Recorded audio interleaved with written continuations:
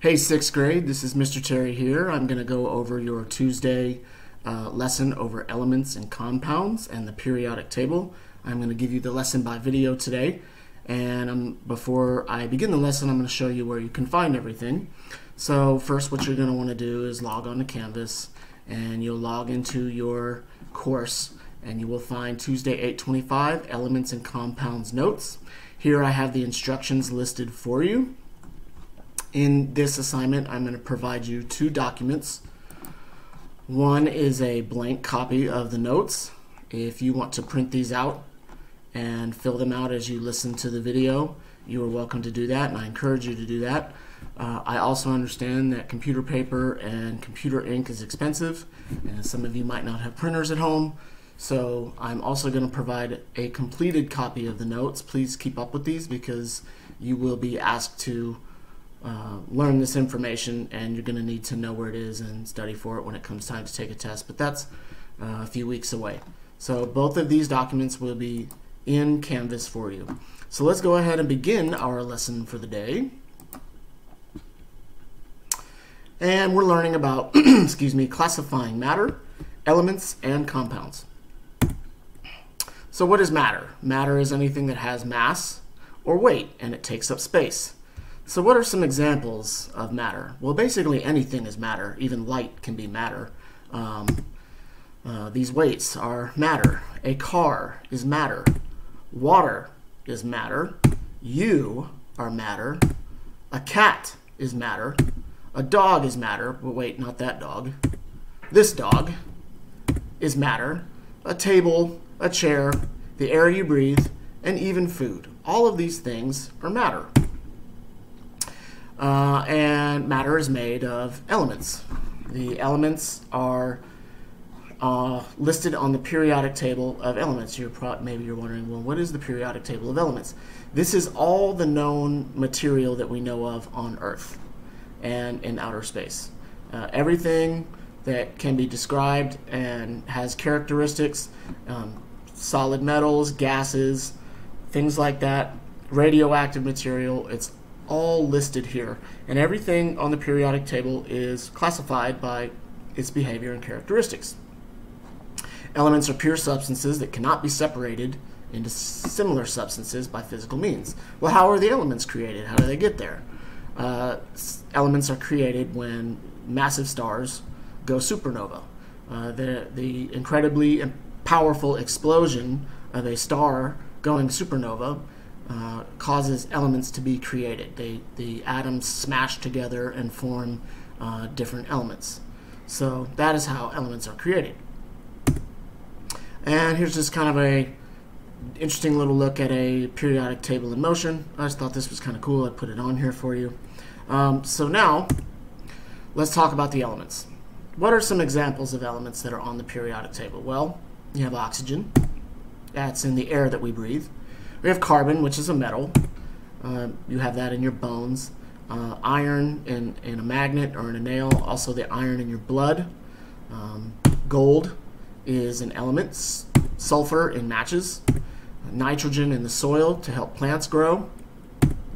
Hydrogen, which is in water. If you've ever heard the word H2O, is talking about water. Two hydrogens and one oxygen the calcium that's in your bone, that's in milk that you drink, the calcium that's in this milk is actually a metal. I don't, I don't know if you knew that, but uh, you're actually drinking, when you drink milk, you're drinking uh, small quantities of this stuff right here.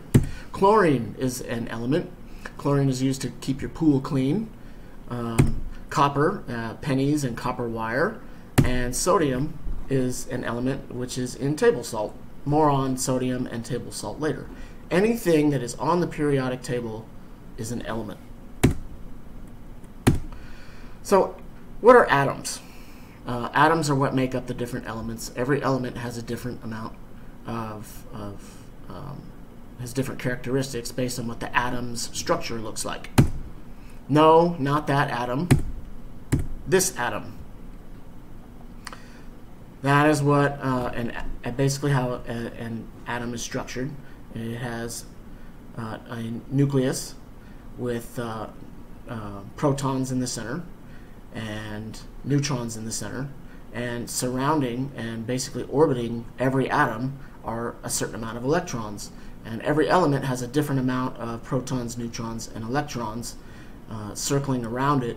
The bigger the element, the heavier the element, the more protons, neutrons, and electrons it has. Atoms are the smallest unit of an element that maintains or keeps the properties of that element. So what are molecules? Molecules are composed of two or more atoms that are joined by chemical bonds. So for example, um, hydrogen gas is two hydrogen molecules. Um, well, hydrogen molecule is two hydrogen atoms bonded together. An oxygen gas molecule is two oxygen atoms bonded together. This number two means how many, is giving us the number of how many atoms of hydrogen there are. There's two hydrogen atoms in hydrogen gas, two oxygen atoms in oxygen gas, and two nitrogen atoms in nitrogen gas, which forms molecules. Um, some elements uh, can also be different when they're chemically combined to form compounds. More on that in just a second. Uh, one, of, one of the compounds that can be formed is this stuff C6H12O6. That's sugar. Sugar that's in your kitchen, sugar that's in your sodas that you put in tea or on your cereal. That's what the chemical formula for sugar is.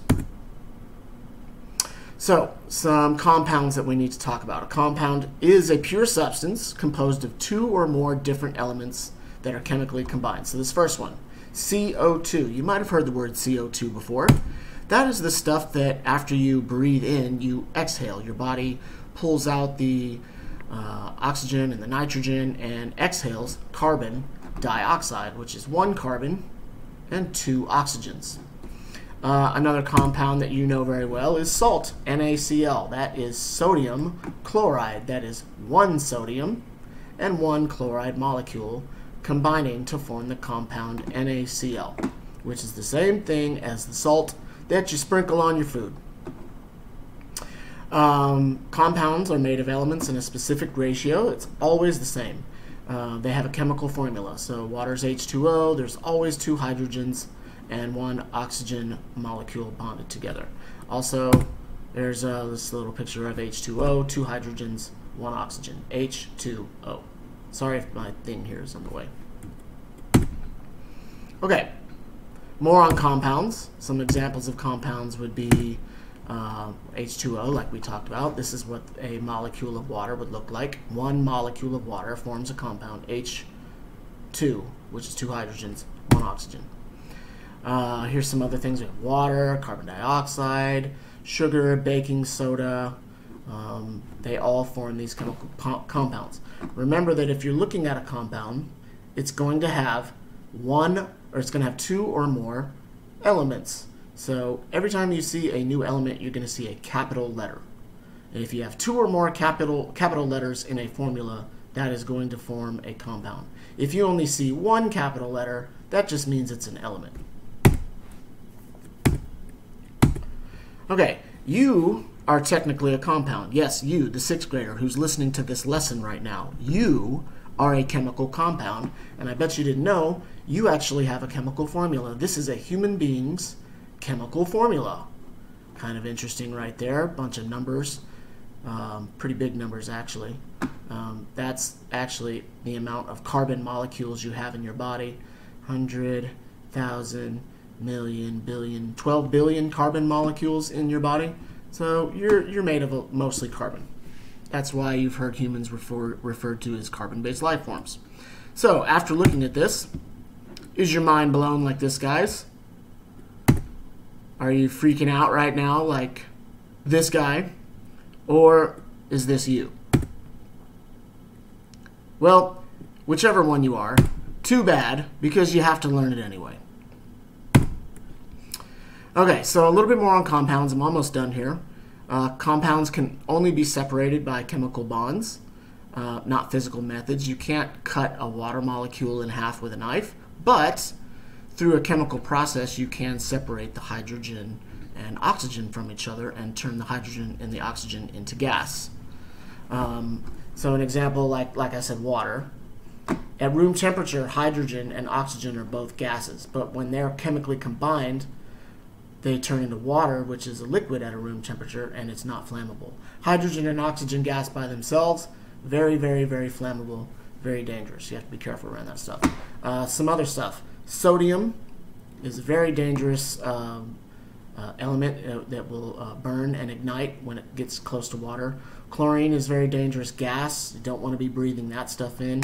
It will kill you quickly, but when they combine chemically, they form salt, which is the same stuff on your uh, dinner table right now that you put on your food when it needs extra salt. Uh, some interesting things uh, uh, about water. It, it is able to be uh, separated through a process called electrolysis. Um, the, uh, the reaction between sodium and chloride actually forms a, uh, a bit of heat and smoke, and it's kind of a almost like a little explosion. But afterwards, salt will be left over, and um, in the words of our friend Plankton here, what in the name of electrolysis?